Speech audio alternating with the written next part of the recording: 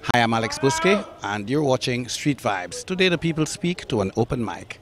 Alex, I want to congratulate you and the staff of DBS for the contributions that are made through Street Vibes. And the people who make these comments are valid. Some may criticize it, but I believe everybody has their own opinion and they have a right to say what they have to do. But, however, I would just want to say that you're making a valid contribution to this society, Alex, you and your team, and I want you to continue doing what you're doing. The sad thing is, though, that I, I want to say that I hope politicians are listening to the comments of the various people because they may not be able to go to the House of Parliament to speak. But believe you me, they have a platform with you where they can speak and share their opinions. So continue the good work. And I hope the camera can take your hands as I shake yours to show that, yes, you're doing a good job.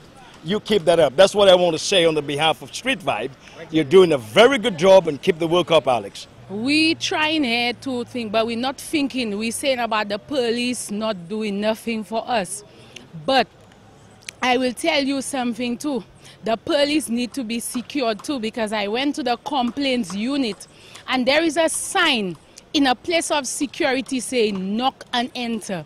And you know, I knock and I entered in that place. I walk right in and I was saying good morning, good morning, and nobody heard.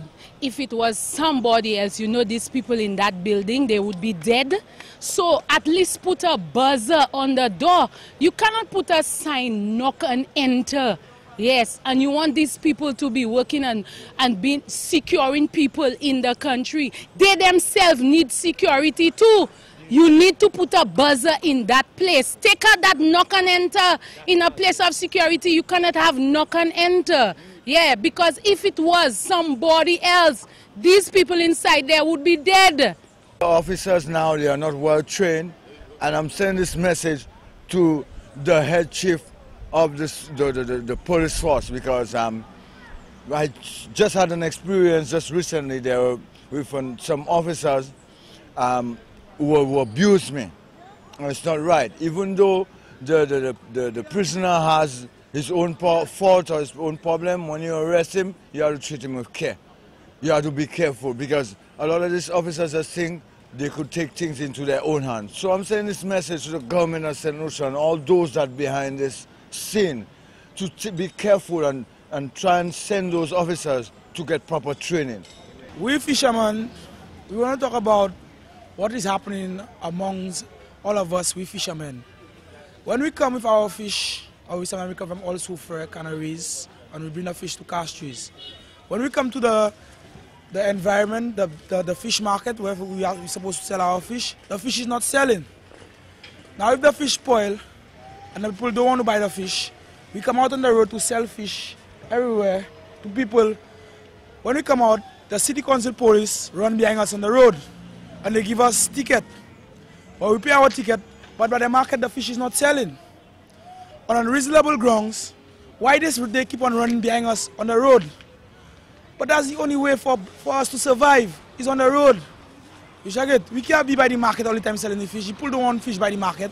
They are on the road that, that one fish, that, pull that, that, you know, you can't be running behind us all the time, so you have to make money. The, the fishermen don't make money back, they make money to buy gas. We can't go to sea.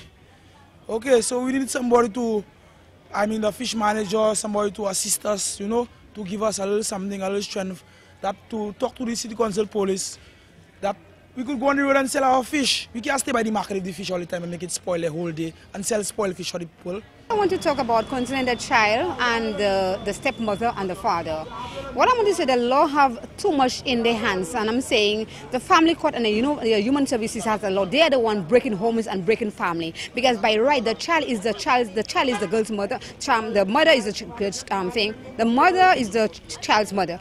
She should have the child in her custody, but not the stepmother because she has never given birth to a child. She don't know what it is to be a mother yet. So the father and the stepmother have to be taken into consideration, arrest them and throw, them in prison and throw the key in the wave that when the sea take it, nobody can get it nowhere. And never, and never bail him out because let me tell you something, it pays a lot. It is, it is very a lot to be have a child, to know what it is to be a, a child, give birth to a child. If she had any love in her as a mother, a woman, she wouldn't even think of doing that to the child. That's an innocent child. And I'm, I'm looking at the family court, their human services, they have a big part to play because they're the one who, who there to destroy homes, destroy family. If the man is not working, they send him to prison. Prison has no money. Find him a job when he's working, take them, deduct the money from him and take to feed their child. But you cannot tell me you're going to send that man to. And he come from prison, send on back to prison. Because there's no one in prison, you know. So it's heightened the family code and the human services start breaking homes and family because they're the one doing it. And they have to fix it because or else it's, it's out of it. They have to go, these people, they need to go and carry banana and the farm and give somebody else can do the job.